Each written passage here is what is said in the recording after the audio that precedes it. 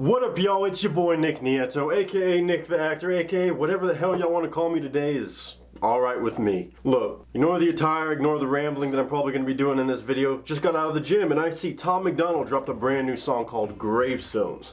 I had the privilege of meeting all of you members of the Hangover Gang, I found out y'all are called, when I first listened to Tom MacDonald the other day on People So Stupid.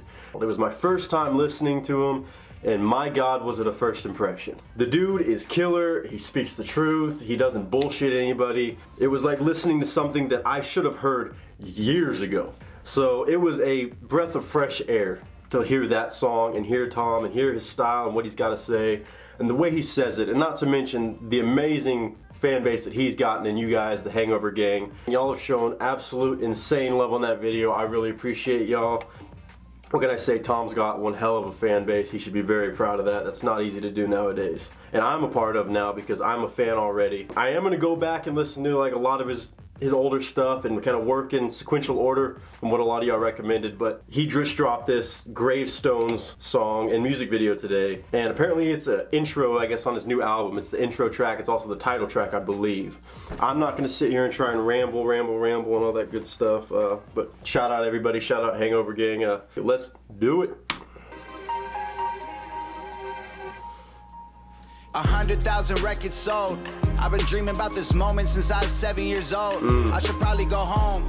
Ride around the city with the top back, screaming y'all with a megaphone. Y'all. That's a mood. Scream at everybody, fuck you with a megaphone. Might I say, Tom is iced out, and usually I'm not one for a lot of bling and shit, but man, he does it just, he does it right.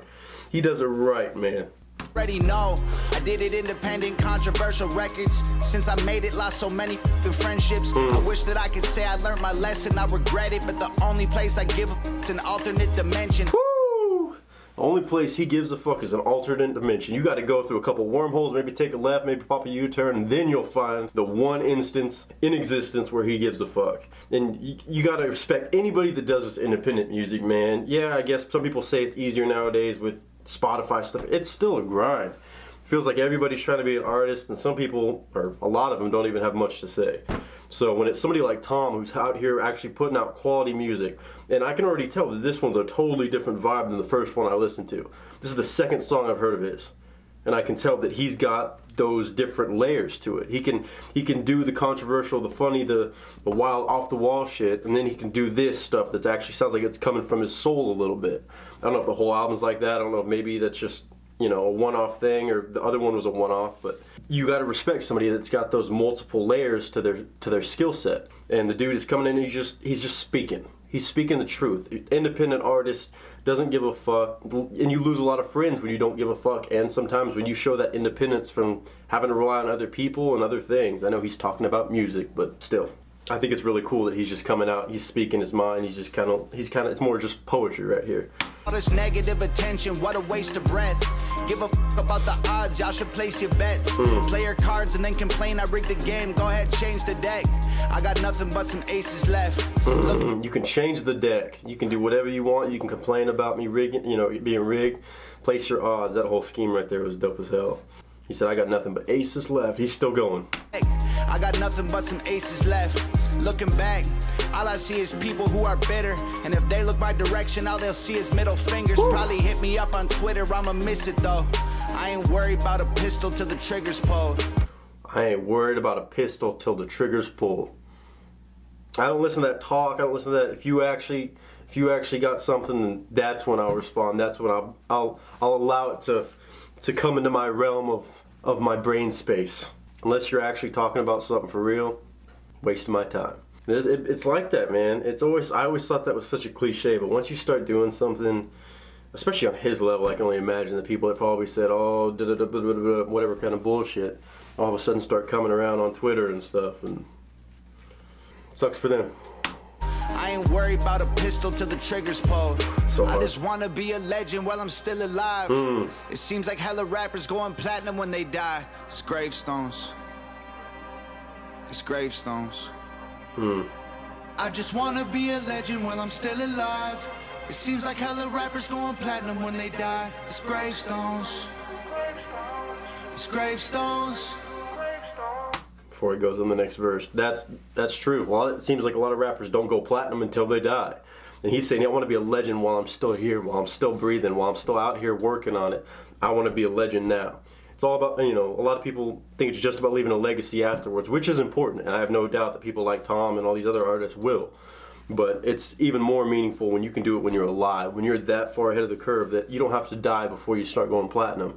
You start getting that and you start changing the world like that when you're alive and you become a legend when you're living. Living legend. Lately I've been living a dream.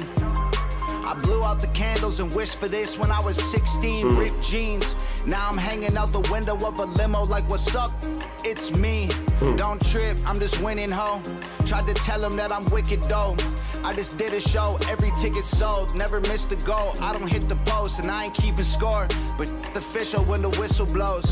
Woo! Official when the whistle blows. I don't hit the post. I hit like he's he's he's scoring every time he doesn't miss. He don't miss. For real though, like it seems like he's just he's got it down. He knows what he's doing. He knows he's good at what he's doing. Everybody loves what he's doing. He's not missing. And I love that line of, you know, I've been praying for it and wishing for it since I was 16, ripped jeans, and now he's in a limit saying hi. Like, it, that there's no better feeling, I bet. I, I bet there's no better feeling than realizing, man, this is all that I dream for. And of course, there's things that come with that that maybe you don't see when you're that younger age, and a lot of people and shit you got to deal with that isn't all positive. That's the cost of, of wishing for it, you know. It's just, it's got to be the best feeling in the world for him to be able to just do this, and not only just from a monetary success point, but to be able to put out art that people love and are listening, and he's really changing lives with his music. There's no other better feeling than for somebody that wished that since they were that young. It's, there, there can't be any better feeling. I'm offensive, I respect if you don't feel it. But my dog just died, so I got bigger to deal with mm. than feelings. Stay mad, I'ma keep to myself. I'ma do it for the people who really needed my help. The death threats all preceded my wealth. Turns out it's ghost stories they repeatedly tell. Mm. Uh, and every man needs to know where he came from. Cause he's headed for a gravestone. Every man needs to know where he came from because he's going to a gravestone.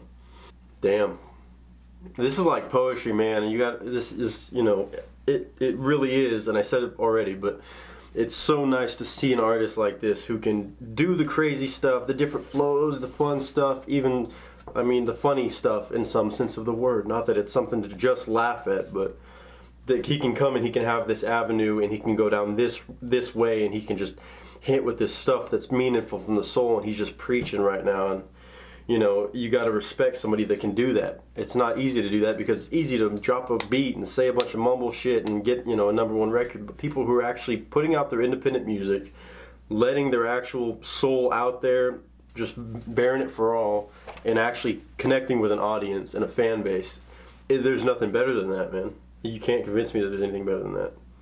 And it's like he's saying, he's got bigger fish to fry. If you don't agree with him, that's fine. He's not here to deal with feelings though. So if it's just your feelings, then he's got bigger he's got bigger shit to deal with. Know where he came from, cause he's headed for a gravestone. God, that's hard. I just wanna be a legend while I'm still alive. It seems like hella rappers going platinum when they die. It's gravestones. It's gravestones. I just wanna be a legend while I'm still alive. It seems like hella rappers going platinum when they die. It's gravestones. It's gravestones. Every single night has been a blur. I've been hella tired of hearing I should wait my turn. I'm just taking what I earned. Y'all still owe me for the songs you never heard. Couple hundred million views, not even close to what they worth. Hella people acting like they work. Claim they got a bag, but they barely got a purse. Woo! Y'all claiming y'all got a bag, y'all barely got a purse. Man, speak to them, Tom. Don't let them do you like that. Don't let them do you like that. Claim they got a bag, but they barely got a purse. Claim the grass is greener, but I touch it and it's turf. Claim your team is wolves, y'all ain't even rocking fur. That grass is greener line is hard. Y'all say the grass is greener.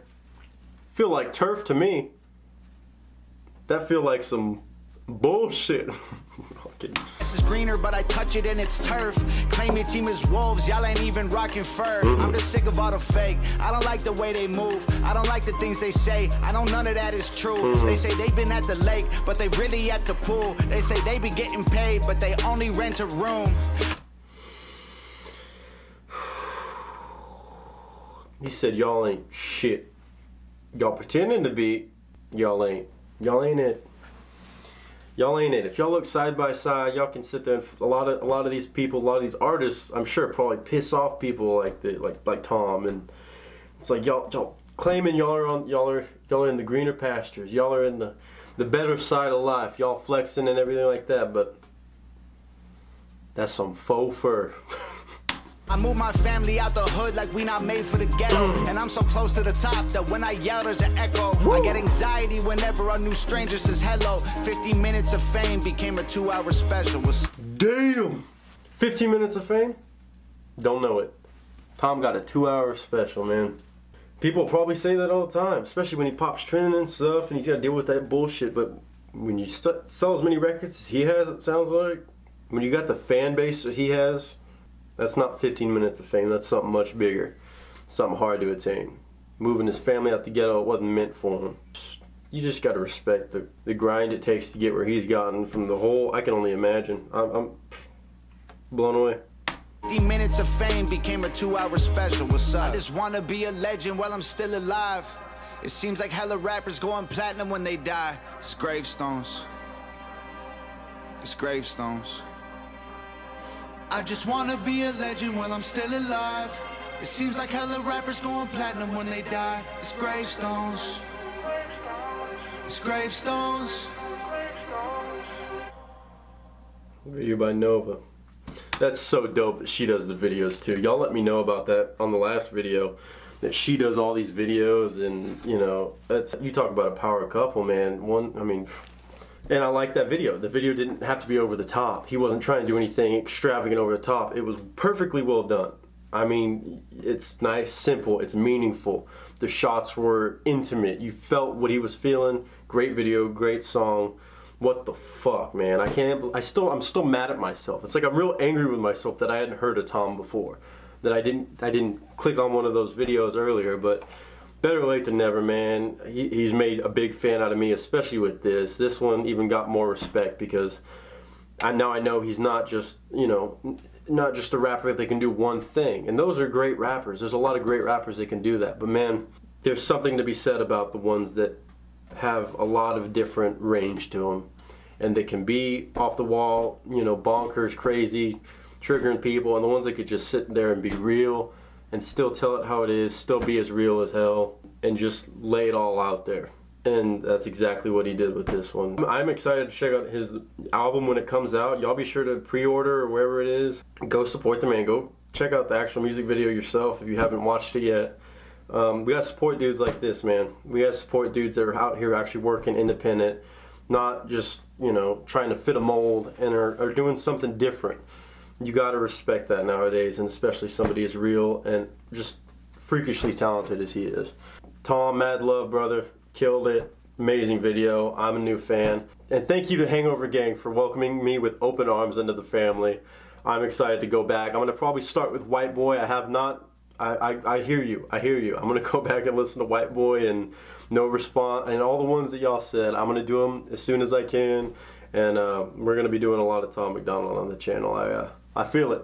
Anyway, guys, I appreciate you guys watching as always. I know times are crazy right now, and I hope you and yours are doing all right. I know everybody's still got busy schedules, so it still means the world to me for you to be watching the videos with me and uh, just stopping by the channel. If you're new around here, give the video a thumbs up if you can.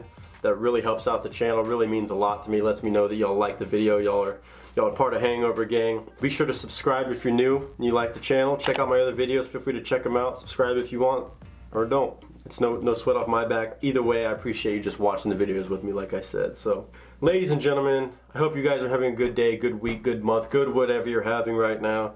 And until next time, ladies and gentlemen, that's a wrap.